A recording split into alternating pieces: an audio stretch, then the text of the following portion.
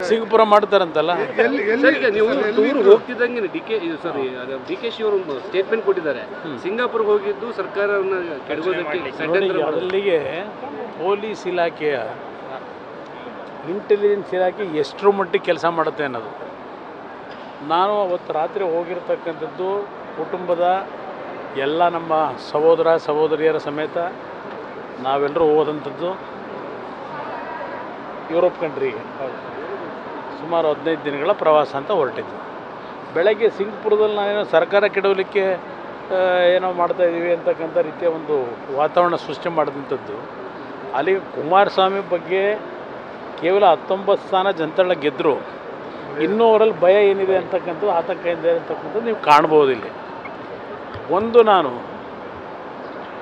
ವಿದೇಶದಲ್ಲಿದ್ದರೂ ಪ್ರತಿನಿತ್ಯದ ಬೆಳವಣಿಗೆಗಳನ್ನು ಗಮನಿಸಿದ್ದೇನೆ. ಪ್ರತಿನಿತ್ಯ ವಿಷಯಗಳನ್ನು ನಾನು ಕ್ರೋಢೀಕರಿಸ್ತಾ ಇದ್ದೇನೆ. ಈಗ ಗೃಹ ಇಲಾಖೆಯಲ್ಲಿ ಯಾವ ರೀತಿ ವರ್ಗಾವಣೆ ದಂಧೆ ನಡೀತು? ಪೊಲೀಸ್ ಅಧಿಕಾರಿಗಳನ್ನು ಆ ಮಟ್ಟಕ್ಕೆ ನೀವು ಉಪಯೋಗ ಮಾಡಿದ್ರೆ, ಪೊಲೀಸ್ ಅಧಿಕಾರಿಗಳು ಜನಸಾಮಾನ್ಯರಿಗೆ ರಕ್ಷಣೆ ಯಾವ ರೀತಿ ಕೊಡಬಲ್ಲರು? ಪೊಲೀಸ್ ಮೆಸ್ಸಲ್ಲಿ ನಿಮ್ಮ ಬ್ರಿಗೇಡ್ ರೋಡ್ ಪ್ಯಾರಲ್ ರೋಡಲ್ಲಿ ಇದೆಯಲ್ಲ? ಪೊಲೀಸ್ ಮೆಸ್ ಗರುಡಮಾಲ್ ಹತ್ರ. ಅಲ್ಲಿ ಸಭೆ ನಡೀಬೇಕಾದ್ರೆ ಯಾರಿದ್ರು? ಸಭೆ ನಡಿಬೇಕಾದ್ರೆ ವೈ ಎಸ್ ಸಿ ಟ್ಯಾಕ್ಸ್ನವರು ಅಲ್ಲೇ ಇದ್ರಲ್ವೇ? ಯಾರು ಅವರಿಗೆ ಅಲ್ಲಿರಲಿಕ್ಕೆ ಅದು ಸೀನಿಯರ್ ಅಧಿಕಾರಿಗಳು ಗೃಹ ಮಂತ್ರಿಗಳು ಮುಖ್ಯಮಂತ್ರಿಗಳು ವರ್ಗಾವಣೆಗೆ ಚರ್ಚೆ ಮಾಡಬೇಕಾದ್ರೆ ವೈ ಎಸ್ ಸಿ ಟ್ಯಾಕ್ಸ್ನವ್ರನ್ನ ಕೂರಿಸ್ಕೊಂಡು ನೀವು ಚರ್ಚೆ ಮಾಡಿದ ಮೇಲೆ ಈ ಆಡಳಿತ ಎಲ್ಲಿಗೆ ಬಂದಿದ್ದು?